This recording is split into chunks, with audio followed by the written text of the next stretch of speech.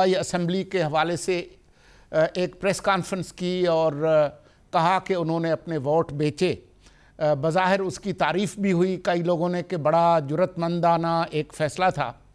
لیکن ساتھ ہی یہ بھی فرمایا کہ جی ان لوگوں کو شوکاز نوٹس دیے جا رہے ہیں اور وہ اس کا جواب دیں گے۔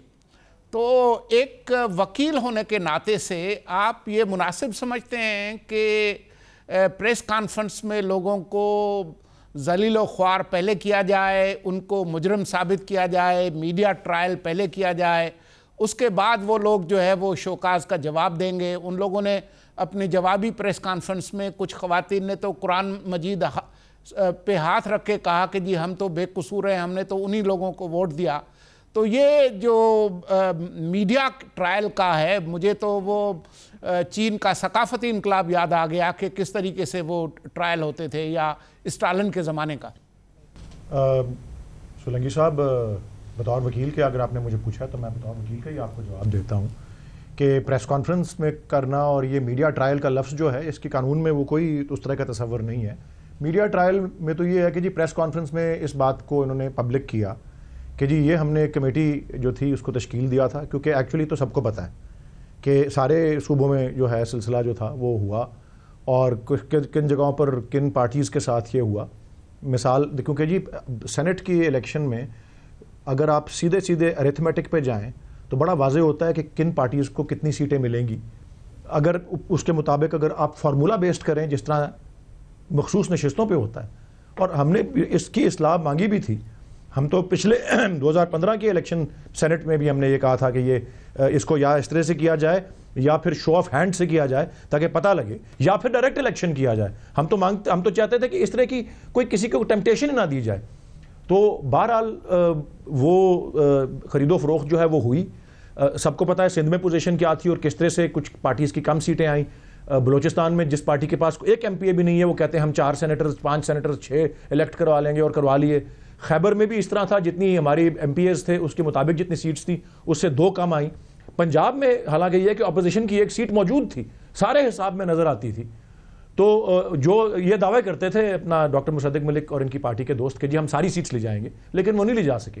تو خاص کر یہ جو تین صوبے ہیں، اس میں تو زیادہ نظر آتا ہے جو سلسلہ۔ تو بہرحال ہم نے اس پہ انکوائری کی۔ انکوائری کے نتیجے میں جو حقائق سامنے آئے، وہ اس لیول تک رائز کیے ہیں۔ کہ ہم نے اس کو کہا کہ جی اب ان کو شوکاز کر کے موقع دیا جائے اور اس کا بھی اعلان بھی کر دیا۔ قانون میں اس کے، یہ تمام قانون کے تقاضوں کے مطابق ہے۔ ان کے اوپر کوئی کارروائی جو ہوگی، ان کی خارج ہونے کی ایکسپیل کرنے کی، وہ اس شوکاز کے اور اس کے جواب کے جو ہے وہ بعد ہوگی۔ ان کو پورا حق حاصل ہے کہ وہ اپنی، اس پہ آ کے جواب دیں، اپنی پوزیشن کو واضح کریں۔ اور اگر وہ بے قصور ہیں تو وہ کہیں ہم بے قصور ہیں اور اس کا ثبوت دیں کہ انہوں نے اس طرح کی کوئی خرید و فروخت نہیں کی۔ اور وہ البتہ میڈیا ٹرائل کو وہ زیادہ اچھال رہے ہیں کہ وہ ایک پریس کانفرنس کے جواب میں پریس کانفرنس کر رہے ہیں۔ چلیں، اس پہ بھی ممانعت نہیں ہے، کر لی۔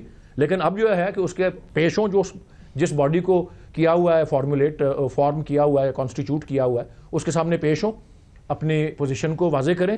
اور اگر اس سے بھی تسلی نہیں ہے تو آگے بھی ان کے پاس کوئی نہ کوئی ریکورس ہوگا، پارٹی کے اندر بھی اور پارٹی کے باہر بھی۔ قانون اور آئین کے مطابق جو ہے وہ اس کو عدالتوں میں بھی لے جا سکتے ہیں۔ تو اس پہ پابندی کوئی نہیں ہے۔ ہم نے کسی قسم کی ان کے حق کو محدود نہیں کیا اپنے پوزیشن کو جو ہے واضح نہ کرنے کی یا کسی ان کو پروسیس سے باہر جی، نہیں جی۔ رکھا۔ ولید اقبال محروم نہیں کیا۔ آپ یہ یہ فرما رہے ہیں ولید اقبال صاحب اور اپنا اپنی جتنی بڑی رسک لی ہے سر اپنی جتنی بڑی رسک لی ہے کہ ساٹھ ممبروں میں سے بیس کے اوپر کاروائی کی اب کیا ایک تہائی ہے۔ اب کیا رسک ہے؟ اب کیا رسک ہے؟ اب نہ اسمبلی ٹوٹ جی، سکتی ہے اب نہ حکومت گر سکتی ہے اب کیا رسک ہے؟ نہ تحریک عدم اعتماد ہو جی، سکتا ہے؟ حکومت گر سکتی؟ کوئی عدم اعتماد کی تحریک کوئی نہیں لا سکتا اس وقت؟ وہ تو چھ جون کو اگر آخری دن اسمبلی کا اسے دو دن پہلے بھی آ سکتی ہے۔ آپ کا یہ خیال ہے؟ آپ کا یہ خیال ہے کہ آپ کا یہ خیال میں آپ کو آئینی پوزیشن بتا رہا جی جی لیکن ہاں لیکن سیاسی اعتبار سے آپ کو لگتا ہے کہ آپ کے مخالفین جو ہیں وہ اتنے ناسمجھ ہیں کہ ایسے وقت میں جبکہ حکومت کا ٹرم جو ہے وہ پورا ہو رہا ہے وہ تحریک عدم اعتماد کر کے جو ہے وہ آپ کو مظلوم ہونے کا موقع دیں گے۔ نہیں جی اس کے علاوہ بھی میں رسکس کا عرض کر دیتا ہوں۔ چلیں جی وہ اگر نہیں بھی کرتے اس کے علاوہ ابھی جو دو ماہ رہ گئے ہیں دو ماہ سے شاید تھوڑا کم اب رہ گیا ہے اسمبلی کی میعاد جو ہے۔ لیکن اس میں بھی اگر کوئی قانون سازی ہونی ہوتی ہے کوئی بجٹ پریزنٹ ہونا ہوتا ہے فائنانس بل ہونا ہوتا ہے تو اس میں بھی رسک ہے۔ اور یہ یہ جو بیس ارکان ہیں اور یہ میرے الفاظ نہیں ہیں یہ تجزیہ نگاروں نے اخبار میں لکھے ہیں الفاظ۔ میں سات سال کی عمر سے مجھے روز اخبار پڑھنے کی عادت ہے اور تین چار اخبار میں پڑھ کے آتا ہوں جی جی۔ معمول میں۔ تو یہ تجزیہ نگاروں نے لکھا ہے کہ جی ان میں بیس کے بیس تو نہیں چلیں، لیکن کم از کم دس ایسے ہیں جو اچھے خاصے اپنے حلقوں میں بڑی وہ رکھتے ہیں، مقبولیت، اور وہ جن کو آپ الیکٹبلز کہیں گے، یہ وہ آتے ہیں۔ میں تو کہوں گا بیس کے بیس بھی اگر پچھلی دفعہ الیکٹ ہوئے تھے تو اب کیوں نہیں الیکٹ ہو سکتے؟ وہ بیس کے بیس الیکٹبلز ہیں۔ لیکن یہ تجزیہ نگار بھی کہتے ہیں کہ ٹین آف دیم سو اپنے پراسپیکٹس کو الیکشن کی آمد آمد ہے، اور ایسا ایک دام لیا، اور اس کی سب نے اپریشیٹ کیا، یہی انہی اخبار، اخبارات کے جن کے ہم مالک نہیں ہیں۔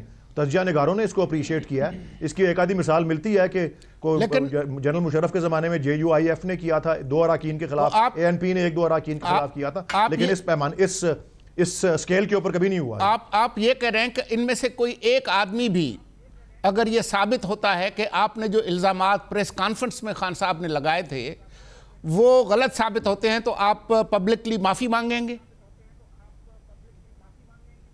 کیونکہ ابھی شوکاز کا جواب نہیں آیا آپ نے پہلے ہی ان کو پوچھنا مناسب جی؟ جی۔ نہیں ہم نے انہیں کچھ نہیں ہم نے انہیں کچھ نہیں کہا ہم نے تو کہا ہے کہ ہم ان کو شوکاز آپ نے تو ان کو چور کہہ دیا نا پبلکلی اگر اس میں آپ نے ان کو چور نہیں کہا۔ چور کے الفاظ استعمال ہوئے دیکھیں ووٹ بیچنے کا مطلب کیا ہے؟ الفاظ استعمال نہیں ہوئے۔ ووٹ بیچنے کا مطلب کیا ہے؟ خان صاحب بیچنا ایک جرم ہے۔ ووٹ بیچنا ووٹ بیچنا ایک جرم ہے بالکل اس میں کوئی شک نہیں ہے۔ اور سنگین جرم ہے ووٹ بیچنا۔ اور اسی کے لیے تو ان کے اوپر کاروائی کی جا رہی ہے۔ اور اور مجھے کچھ اجازت جی جی میں صرف ان سے ایک سوال پوچھ لوں۔ میں آپ کو مثال نہیں میں آپ کو دیکھیں نا نیب بھی میں چودری سرور کا بھی آپ سے پوچھ لوں نا۔ نیب کسی میں آپ سے چودری سرور کا بھی پوچھ لوں کہ انہوں نے سب سے زیادہ ووٹ کیسے مل گئے ان کو؟ انہوں نے کوئی ووٹ نہیں خریدے۔ چودری سرور صاحب چودری سرور صاحب کا خود بھی آج ان کا اپنا ذاتی بیان بھی آج اخبارات میں شائع ہوا ہوا ہے۔ اور وہ یہی ہے کہ جی میں آپ کو ایک ایک ووٹ گنوا دوں گا کہ کس طرح سے میں نے حاصل کیا کیونکہ اور مجھے پتا ہے کہ مجھے میرے لیے کن کے لیے ووٹ کنہوں نے میرے لیے ووٹ کیا۔ اور یہ ایک بات دیکھیں ووٹ خریدنا اور ووٹ بیچنا جرم ہے لیکن خفیہ رائے شماری میں سینٹ کے الیکشن میں اپنے پارٹی کے کینڈیڈیٹ کے علاوہ کسی کو ووٹ دینا وہ قطعی طور پہ جرم نہیں ہے۔ اور اگر کسی دوسری پارٹی کے کچھ تو ہماری دوسری مطلب آپ آپ یہ کہہ رہے ہیں تھی پی ایم ایل کیو کے کچھ ولید اقبال صاحب اسلامی ولید اقبال صاحب ویسے ہی ووٹ دیا ہے۔